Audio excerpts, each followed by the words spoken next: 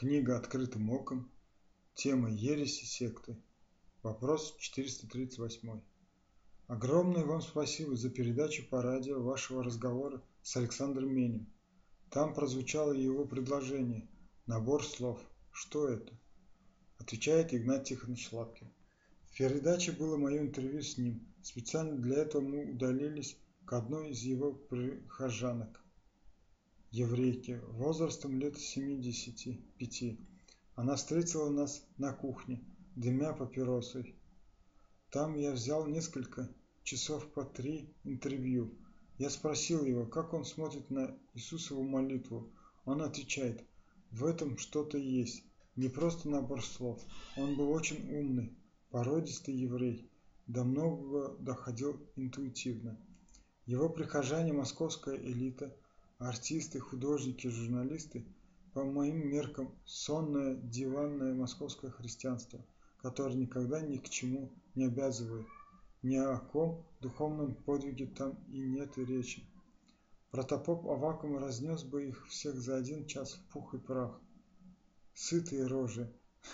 На некоторые вопросы, похоже, он никогда не отвечал, но отвечал в этот раз спонтанно, сходя на взлет, на вскидку каждом ответе его сквозил проницательный взгляд и достойное уважение, осторожность, скрытность под образом всепокоряющей открытости, какая-то особая, принятая у масонов закрытость тем.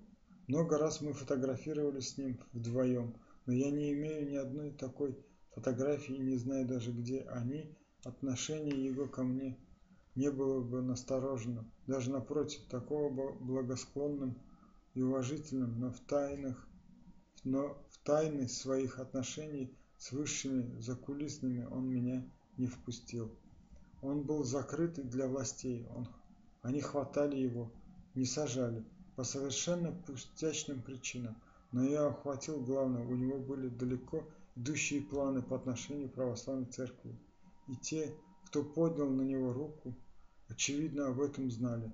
В споре он был неуязвим и скользок, как налим. Мень переводится налим. Думаю, что он чувствовал исходящую от меня опасность. Один из них, Александр Борисов, с женой Лидией из самых приближенных людей, уехали в Америку, где я с ними беседовал еще раз. Они уезжали по его благословению, но он сказал им, мы больше с вами не встретимся. Быть может, его смерть послужит во искуплении его заблуждений. Упокой, Господи, душу раба Твоего Александра в Царстве Твоем. Я исповедовался и причащался у него и внутренне страдал за него, как он может быть православным священником Московской Патриархии, нести этот сан иго ежедневно, как будто по заданию какой-то партии или общества.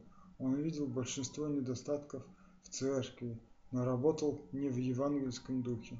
И коммунист он был окончательный, полновесный, с исключительным наклоном к католицизму.